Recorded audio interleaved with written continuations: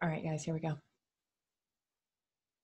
Welcome back to the FemNation podcast, where I do just a little solo follow up of an interview that I just recorded. I had the pleasure of interviewing Hope Zvara today with Mother Trucker Yoga. She is a yoga and lifestyle expert as well as a creator of the Hope Process. And you get to learn all about that in our episode. But I want to talk about how we connected and and the level of connection that we women have that can be so powerful in the entrepreneurial space. And I talk about in the opening episode of the podcast in general, episode one, I talk about how we need to rise as a community of entrepreneurs and step into the space that we know that we should be having, but yet we talk about it should be ours, but yet we are not physically walking into that space. There is a lot a lot of other dynamics that play into that. So that's not all that plays into it. However, if we want to be perceived and seen as the business owners that we are, then we need to actually step into and own the entrepreneurial space, the women entrepreneurial space, as we are called to. Now, that being said, Hope and I talked about some very interesting perspective on being in business. And she took her hobby, her her um, horizontal line, her stagnant business that she needed to learn herself from and she created that trajectory for herself. And there's a a ticket um, a trick a um, a nugget any of those words that resonate with you. But she gave the actual piece that you needed to hear, that you need to hear in order to grow your business into the direction and the gifts and the calling that you are meant to be standing in. We are called to greatness. We are all of us, every single one of us, we are called to be great and we are given gifts and we all know instinctively that we have a purpose.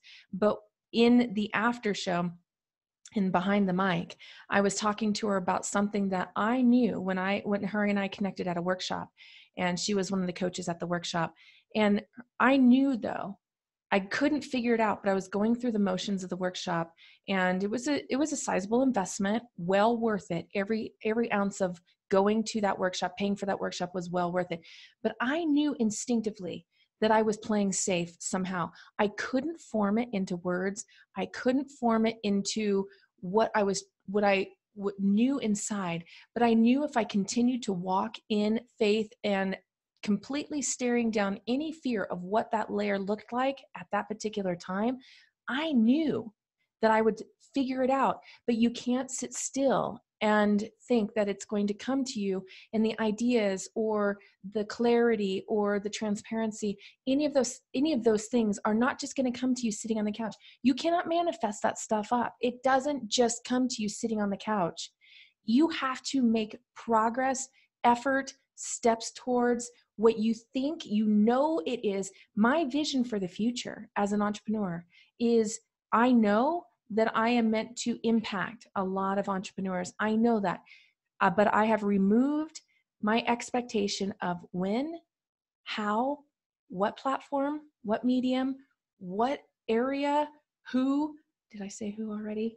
But I'm trying to cover all those. But you see what I'm saying? I had that view. I see that view. And as entrepreneurs, we have to know the goal but we need to not put limitations on that goal because if we think that we are supposed to go do this or go do that or go do this and we are so hardwired that that's the only way we're going to be successful we are not. Because the goal is not so much that it evolves which it does because we grow and as we grow we we get gain clarity but it's not so much as it evolves but we learn the perspective of what the bigger picture is so then we broaden that bullseye. And it no longer becomes just a tiny little pinpoint focus of what we think we're supposed to be doing but when we strip back and let it be simpler just let it be a little bit less difficult. Tell our technical minds not to play so much into this of what should or is or how to or how we're supposed to move through towards this goal once we strip that back and we're just we we release and let go and say what is it supposed to be I know that I'm called to do this, this impact that I'm supposed to have. But I thought it was this, I thought it was that. And as I'm moving towards each one of those, working in stages and, and work, you, you know, in, in progressive stages, not speaking stages, but in progressive stages towards that, but being honest with ourselves that what are we supposed to learn in this progress and remove any expectation of outcome. What is it meant to be? How are we supposed to move in this world? How are we moving to that goal? And I'm going to tell you right now as soon as you let go of what you think and what you expect the outcome to be, as soon as you let go of that, it becomes more clear. And you all of a sudden see, and answers come to you. And there are ways that you are given opportunity to be in the right place at the right time with the right connections for the right evolution of your business, for the right growth. And you're able to then move forward. And that is what alignment is. And not until you're able to be fully aligned with what you are meant to do are you going to be satisfied as an entrepreneur. I have been doing this for years, and I did plenty of businesses where I would just create it because I could or because I thought that that was the right way to do it. And those were all periods of time that I needed to go through. Those were all learning lessons I needed to go through. But not until I was coached about a year and a half ago by Heather Gray. And there, there's an episode in here, find hers, because it is a fantastic episode. But not until she said, You're going to have to stop playing safe. Because I was keeping one foot in a safe zone and I was putting, I was dabbling, touching my toes to the water over on the other side. And I was like, Ooh, but I have this to fall back on. And she said, You're going to have to let go of that. And when I did, it was a scary, transformative, into the unknown with no safety net zone that I did not know what the other side looked like. But I was so tired of trying to make it muscle it into what it was supposed to be as my entrepreneurial journey or the impact that I'm supposed to make because my entrepreneurial journey is the, my purpose. That my entrepreneurial journey is taking me to that purpose. So that's why this is so important for you as an entrepreneur.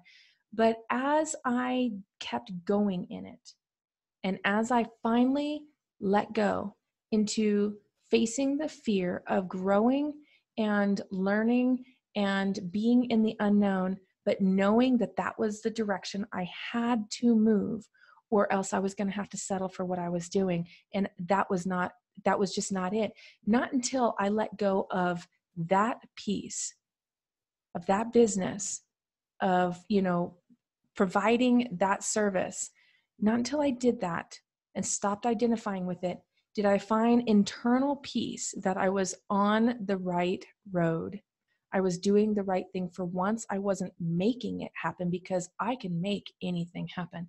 I can build any business. But if it's not the right business, I'm going to pull my hair out eventually and figure out how I can unravel the thing.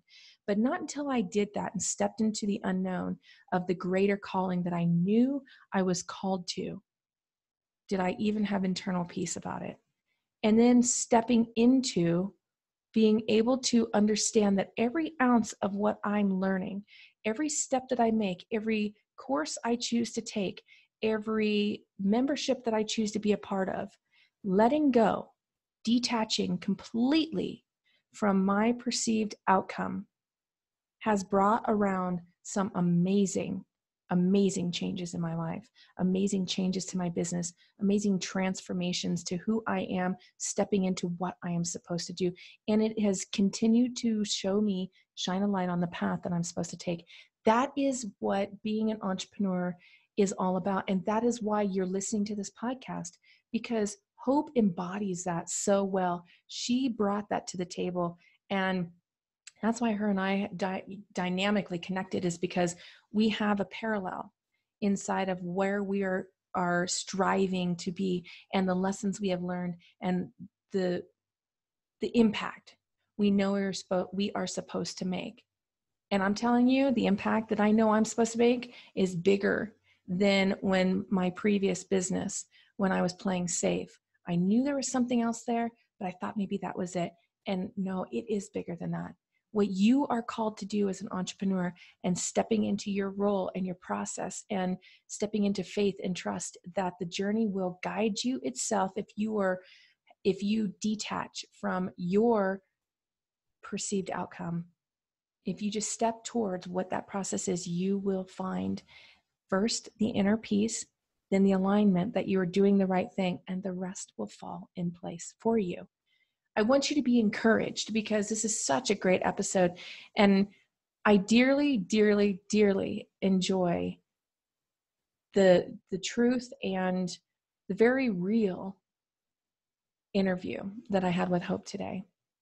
And I hope you enjoyed it as well.